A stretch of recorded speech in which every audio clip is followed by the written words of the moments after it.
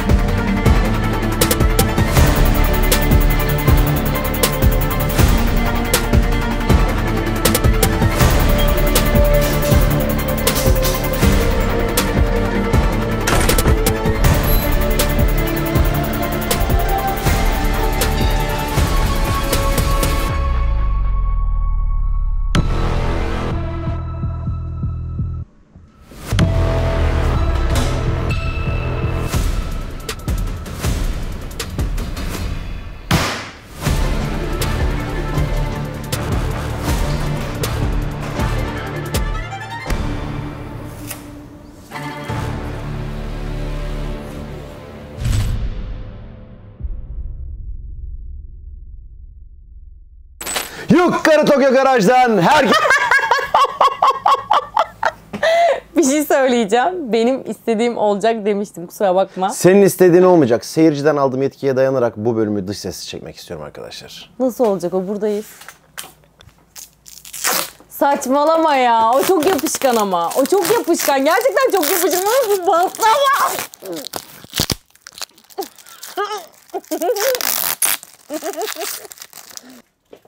Yok Karı Tokyo Garaj'dan herkese merhaba. Geldik şu ana kadarki Skyline GTR bölümlerinin bence en önemlisine. Bugün artık boya belli oluyor. Dış sessiz izlemenin keyfine varın. Geldik Skyline'ın 35. bölümüne. Kanala yeni gelenler sizler de hoş geldiniz. En sonki bölümümüzde tam arabanın üzerine boya atıyorduk ki ya bir dakika biz arabanın üzerine epoksi astar attık da onu zımparalamadık. Hataları görmedik. Dolgu astarını atmadık. Onun hatalarını düzeltmedik. Yaş astarı atmadık. Onun da hatalarını düzeltmedik. Ya biz nereye boya atıyoruz? Ama sözümüz söz bu bölümde boyamız tamamen bitmiş olacak. Takdir edersiniz ki bu arabanın yeri zaten farklı. Yani olabilecek en ince işçiliğe kadar gireceğiz. Ben de şimdi biraz söküme başlıyorum ki artık motor havuzuyla başlayalım işe. Usta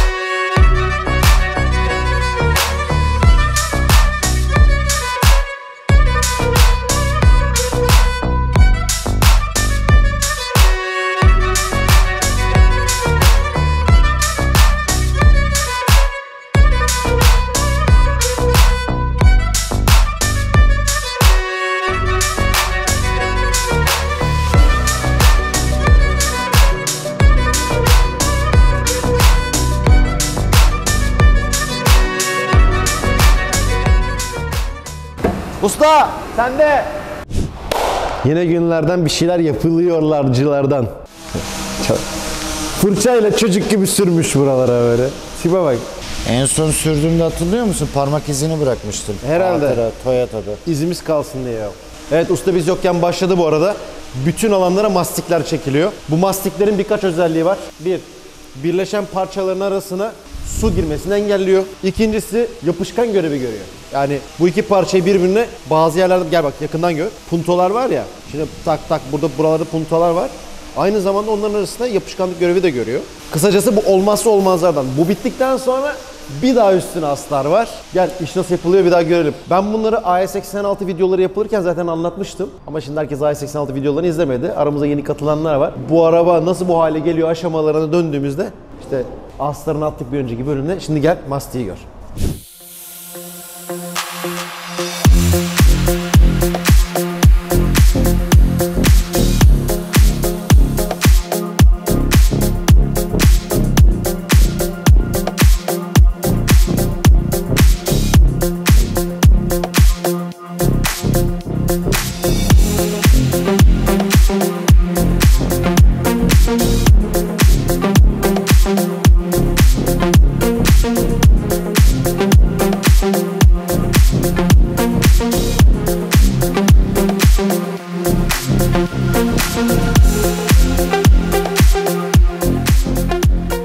Özetleyeyim bugün neler yaptığımızı. Bugün mastikler çekildi. Bu mastiklerin kurumasını bekliyoruz. Yapacak bir şeyimiz kalmadı. Yüzeyini de temizledi usta.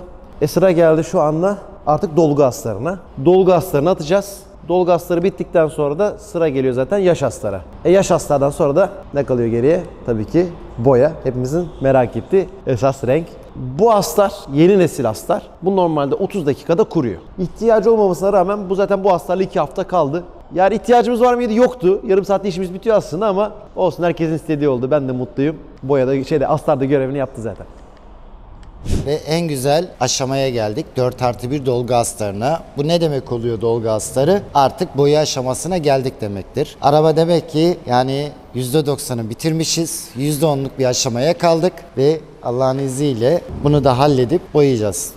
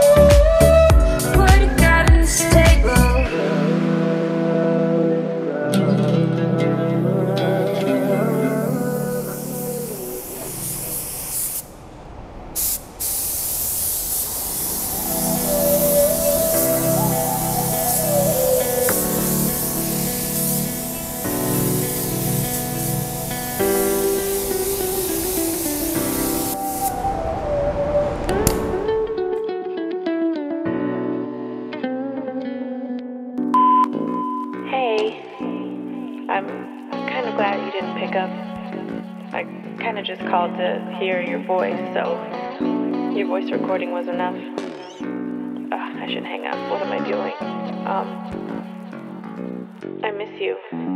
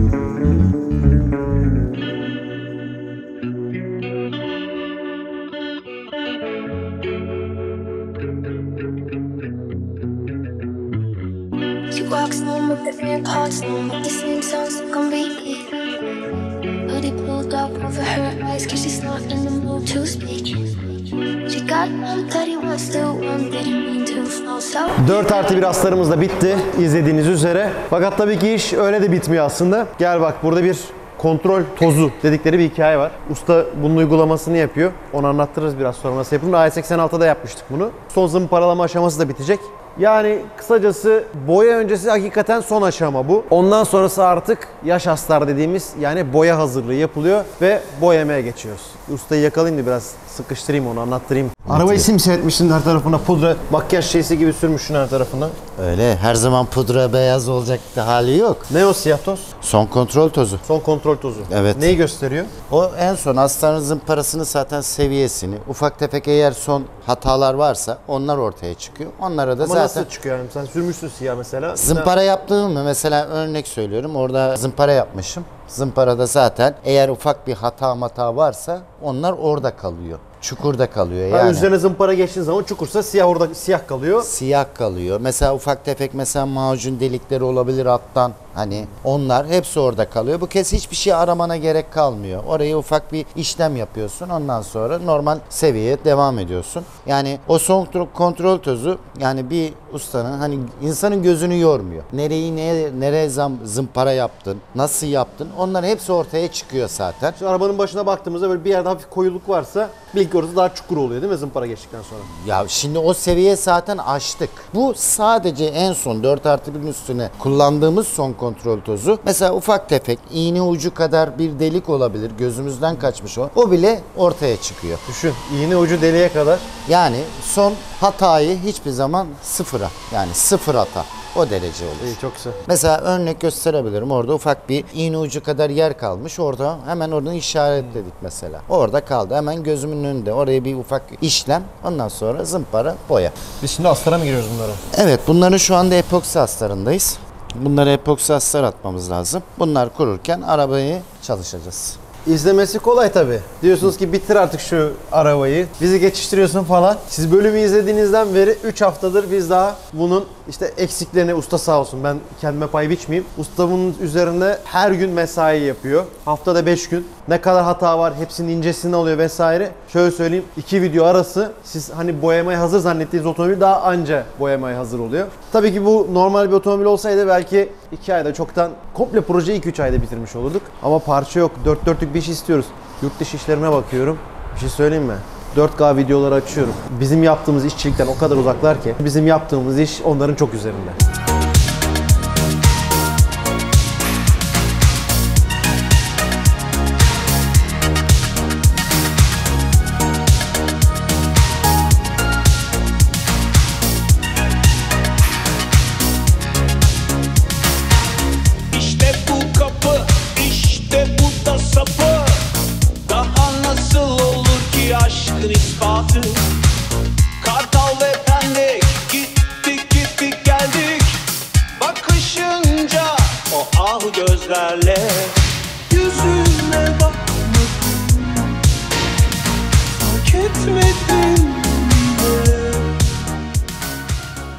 Bölüm önce kapıların içi yapılıyordu hatırlıyorsanız. İçi yoktu. Usta baştan elden yapmıştı ya. Şimdi hastalandıktan sonraki halini görün kapının. Sanki fabrikasyon gibi yaptı adamlar. Bu elde yapılmış hali ha. Böyle baskı değil yani. Vallahi helal olsun. Baki Usta ve Bekir Öztekin'e de bakalım. Buna da bakalım.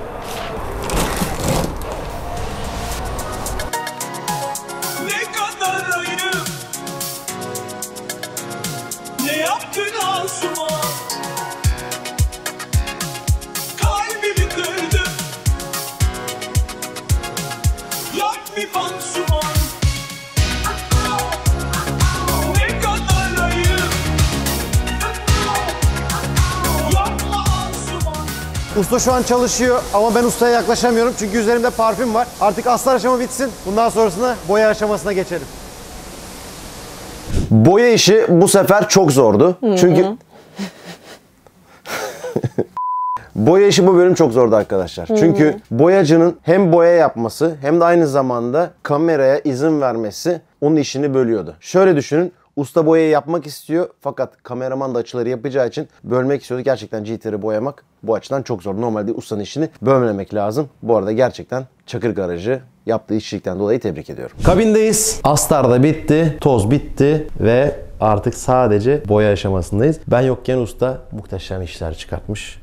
Bütün o alanları bayağı fabrikasyon mastikleri yeniden çekmiş. Bak dedi ki içime sinmedi dedi görüntüsü. Ya olabilecek en güzel şeyi yapmış bu, bu aşamada. Yani bu arabada olması gereken buydu. İçerideki silikon işlerini bitirmiş. Ben bunları zamanında hepsini yapmıştım. Ama tabii benim yapmamla ustanın yapması bir değil. O her yeri yeniden geçmiş. Bütün açık gördüğü noktaları. Ustayla da ayaküstü bir istişare yaptık boya konusunda. Şimdi boyalara baktığımda kaselerde, kaplarda bir değişik duruyor. Çok istediğim renk emin olamıyorum. Ama genelde böyledir zaten. Hani kapta karışmadığı sürece değişik gözükebiliyor. Hayalimdeki renk olacak mı? Bakalım. Neyse uzatmayayım işi başlayalım bence.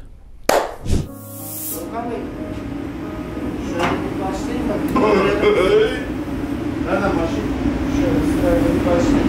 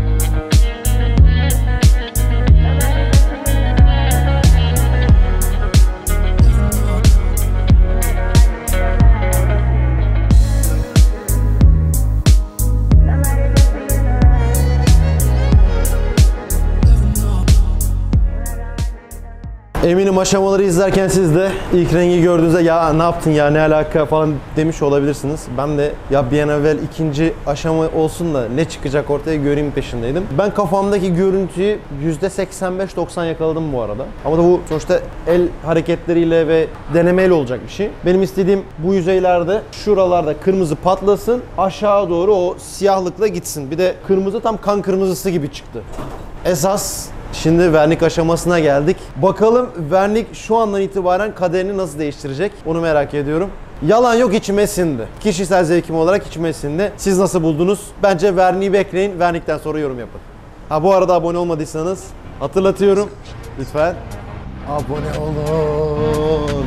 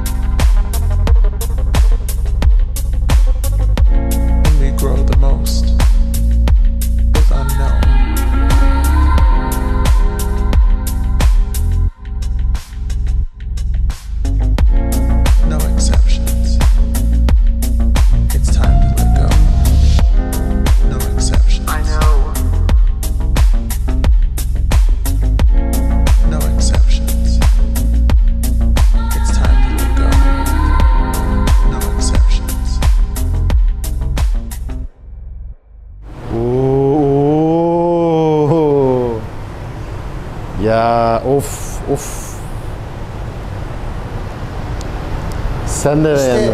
ustanın bak hani Toyota'da hatırlıyor musun? Toyota'da. Ne dedim? Ustanın emeği boyadıktan sonra çıkar dedim. Ona lafımız yok. Emeğinin karşılığını o A- zaman Ama sen de beğendin belli yüzünden. Ben bayıldım canım. Bir şey diyeyim mi? Aradaydım demin. İlk birinci step var ya. Sonuçta ikiye atınca rengi kazanacağımızı biliyordum. Ama acaba yanlış bir renk tonu mu seçtik? Kartta yanıldık mı? Bir şey yanlış mı oldu derken dedim acele etmeyelim. Sonra Şimdi ışığı vurduğu yer daha açık oluyor. Aha. Farkında mısın? Ee, buralar çok hafiften bir karaltılı görünüyor. Neden karaltılı? İster istemez bir siyahın geçiş tozu var. boş versene ya. Şuralara baksana. 50 mi ya? Öyle mi? işte motor içi bu. Ve işte işleri de tamam. Şapka çıkarıyorum usta. Başta düzelteyim. Vallahi billahi. Şöyle bir Japon selamı da vereyim. Böyle mi oldu? işte son kat motor içimiz olayı budur. Çok acayip bir şey çıktı ortaya. Şeyin değecek. Değsin ya. Şuraya değecek. Değsin Ha, ya değil. değmesin. Allah Allah. Yoksa ona değeceğinden üzülmüyorum. Zaten boya yaptı onun üstünü. ben aramaya üzülüyorum. Yaptığımız her şey çok kararında, dengeli, yerinde. Ne fazla ne eksik. Ne fazla ne eksik. Bu arabaya Ha. gider.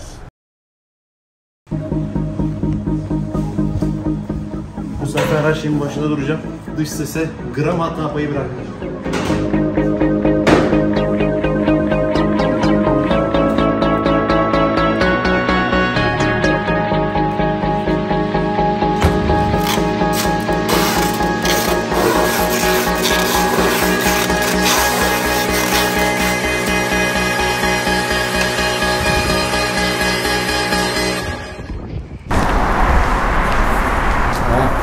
Yakalandık mı?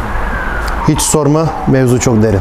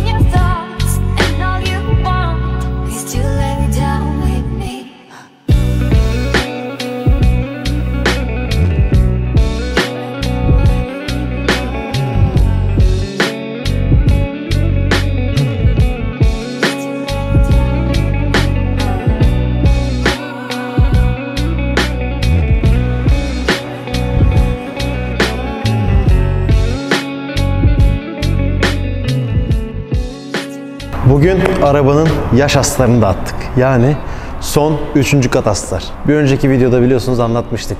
Önce dolgu astarı, sonra yoklama astar, ondan sonra en son yaş astar. Yani sıra geldi şu anda boya kısmına. Tam 35 bölümü geride bıraktık bu aracın boya kısmına gelinceye kadar olan aşamasına.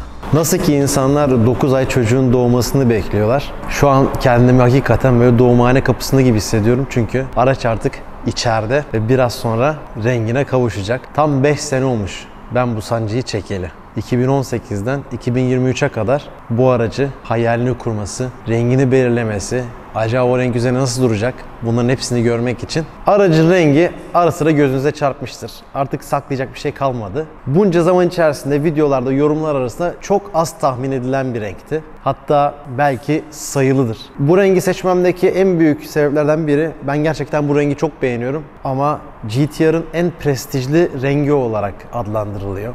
Bence bu kadar emeğe de bu yakışırdı diye düşünüyorum. Tabii ki renkler ve zevkler tartışılmaz. Kiminin hoşuna gidecektir, kiminin beklentisini karşılamayacaktır. Umarım beğenirsiniz. Ama bu arada benim bu kadar emek verdiğim bu projede beni yalnız bırakmaz ve olmadıysanız abone olursanız mutlu olurum. Şimdi arkanıza yaslanın, keyifli izleyin.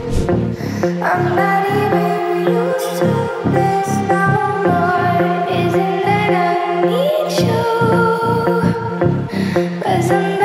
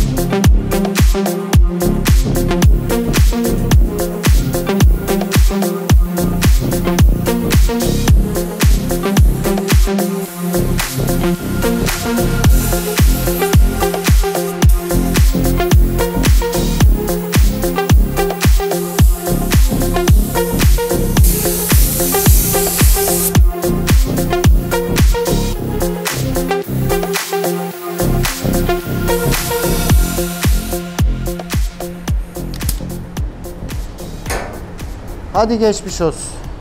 Bazen mesajlarınızda bu projelerle nasıl başa çıktığımı soruyorsunuz. Nereden kaynak yarattığımı da soruyorsunuz. Biliyorsunuz ben bir takım tişörtler, şapkalar, kupalar, halılar, anahtarlıklar değişik değişik e, konsepte uygun ürünler tasarlıyorum. dmtr46.com'dan buna ulaşabilirsiniz. Eklemek istediğim bir şey var mı? Hı hı.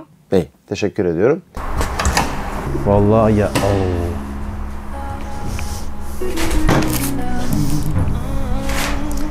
Kapıyı açık bırakmazsanız sevinirim.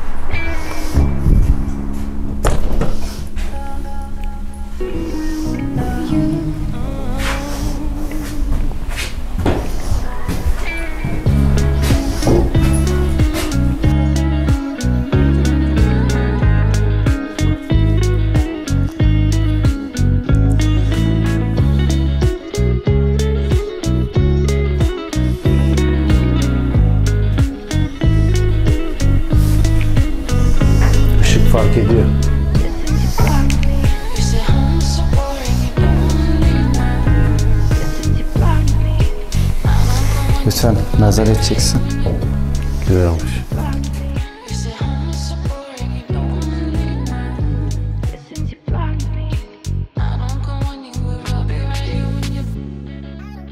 Renkle tanışıyorum şu anda. İşçiliği zaten farkındayım. Açık konuşacağım. Her insan hata bulur isterse. Olur. Kesinlikle kimse hatasız değildir. Ama bir şey diyeyim mi? Ben şu an çok derin baktığım zaman yani artık arkadaşımsın diye söylemiyorum bunu. Ya doğal ol yani Harbi- açık konuş. Ben harbi- hata yapabilirim. Hata yapmam değil. İzin ver söyleyeceğim. Bu işi çıkaracak çok adam tanımıyorum. Bir de tabii Baki Usta da çok güzel bir zemin hazırlamış. Yani Ee, gerçekten çok iyi zemin bırakmış sana bu arada. Ben burada yıllardır beraber çalıştığım bir arkadaş. Her zaman memnunumdur. İşçilik olarak Vallahi tebrik ederim. Yani harbiden büyük emek.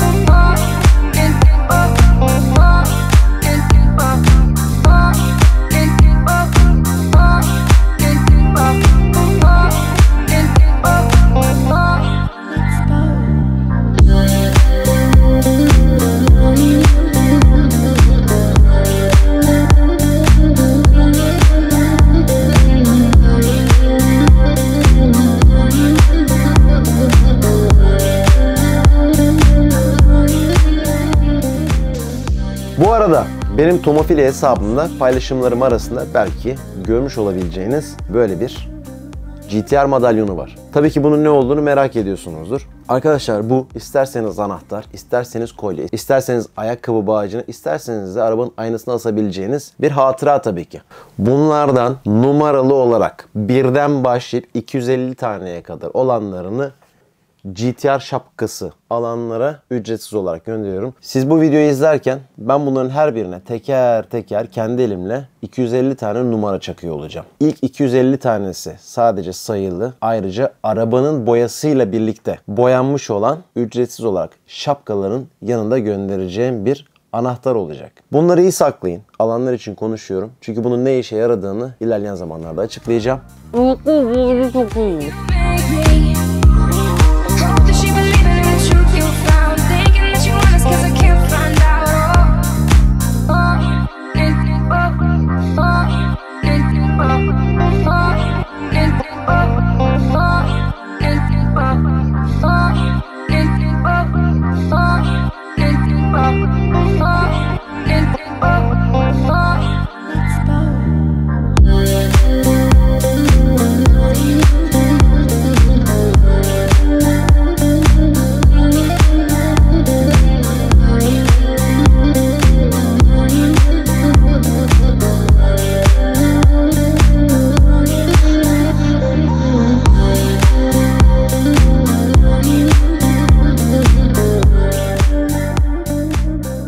Zevkler ve renkler tartışılmaz. Kiminiz Midnight Purple yapacağımı düşünüyordunuz ki o dış sesin tercihiydi. Benim hiçbir zaman olmadı. Her zaman da size bunu yapmayacağımı söylemiştim. Skyline'ın kataloğunda olan bir renk olduğunu söylemiştim. CRS yani Clubman Raceback GTR kataloğunda çok sayılı üretilmiş ve GTR'ın en prestijli rengi olarak bilinen renkti. Yani KAD olarak kodlanmış Kat Nismo'nun gunmetal renginden bahsediyorum. Dünyada çok sayılı adet üretilmiş olan bu rengi seçtim.